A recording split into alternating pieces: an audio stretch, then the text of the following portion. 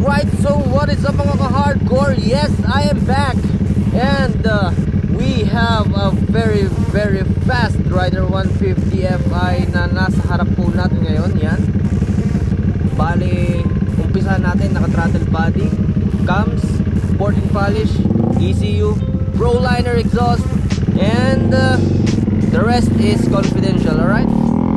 Subukan natin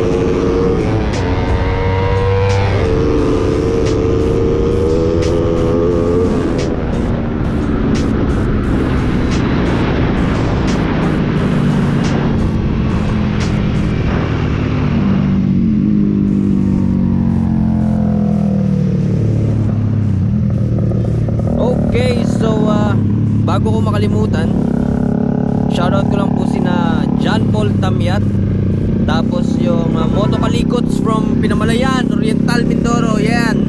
Shoutout po sa inyo. And shoutout din po kay uh, ano ba yun? Kay Alex Kiocho. Alex Kiocho, I will meet you sometime and i-feature ko yung iyong Concept na rider. Alright? Pakpaka na ah! Ganda oh.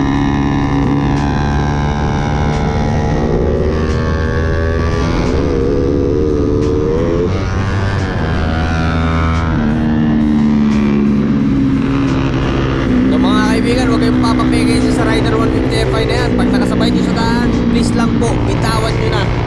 Hindi nyo yan kaya.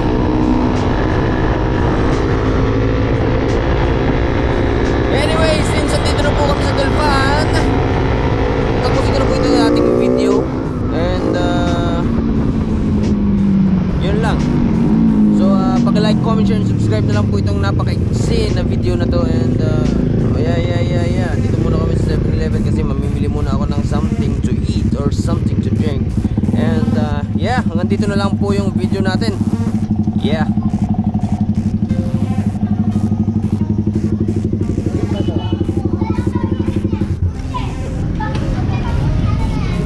Nakakarinde! Sakit sa tenga.